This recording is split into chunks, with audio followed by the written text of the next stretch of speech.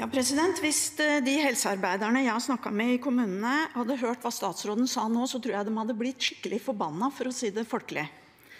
Fordi kommunene står midt i koronakrisa ennå. De ansatte er slitne, krisa fortsetter, og kommunene sitter og må kutte nå.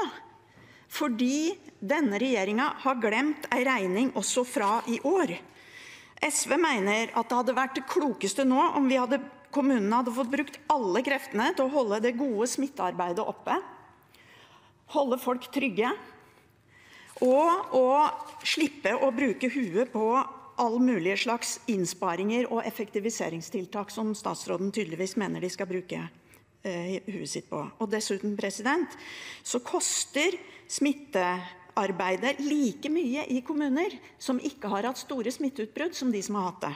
Hvorfor mener statsråden at dette ikke er det viktigste nå, å sette kommunene i stand til å gjøre dette arbeidet for de som står i jobben, og for de som trenger hjelp? Statsråd Astrup Jeg mener at det er det viktigste nå, men det var ikke det jeg fikk spørsmål om. Jeg fikk spørsmål om det ordinære kommuneopplegget for 2021. Hadde du spurt meg om hvordan vi skal løse koronautfordringene i 2020 og 2021, så hadde jeg svart på det spørsmålet, og det gjør jeg gjerne. Fordi vi stiller opp for kommunene i den krevende situasjonen de står i. Og de som er ute i kommunene, de står i førstelinjen. De gjør en fantastisk innsats med å bekjempe denne pandemien. Og ja, det er krevende, og de fortjener all mulig honnør, både fra denne talerstolen og fra alle andre talerstoler rundt omkring i landet. Eh, og når jeg er ute og møter kommunene, så er det også det første budskapet jeg har til dem.